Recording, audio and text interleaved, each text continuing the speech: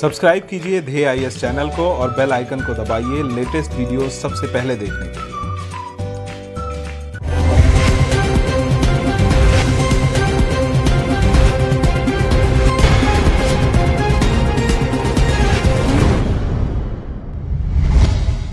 Recently, 1,040 militants of five militant groups of Karbi Anglang district formally laid down arms at an event in Guwahati in the presence of Chief Minister Sarbanand Sonowal. The surrendered militants consisted of cadres from five outfits. These outfits include Karbi People's Liberation Tiger KPLT, People's Democratic Council of Karbi Longri, PDCK, Karbi Longri NC Hills Liberation Front KLNLF, Kuki Liberation Front KLF, and United People's Liberation Army.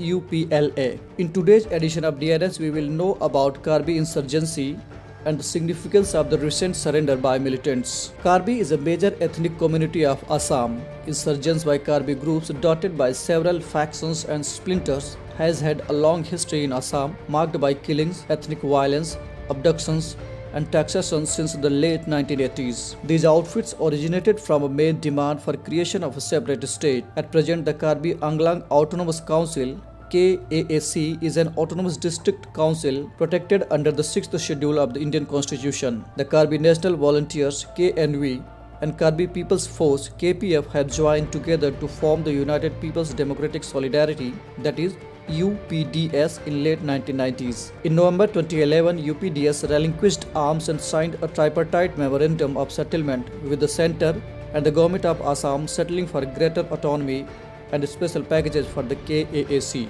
The complete political discourse in this region, which include three districts of Karbi Anglong, West Karbi Anglong, and Dima Hasao revolves around the demand for granting of autonomous state status to the region and enhanced autonomy and power to the KAAC and the North Cachar Hills Autonomous Council. Who is Ingti Katha Songbijit?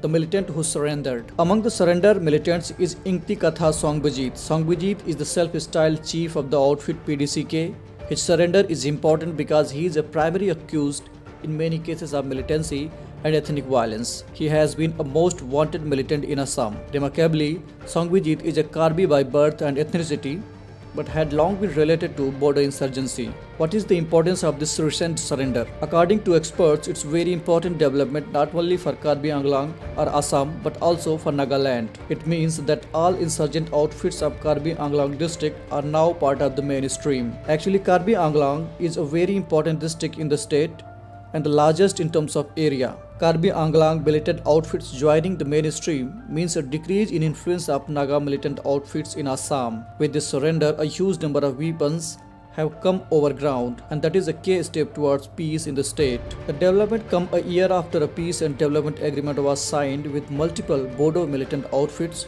bringing an end to a ferocious movement for a separate Bodoland.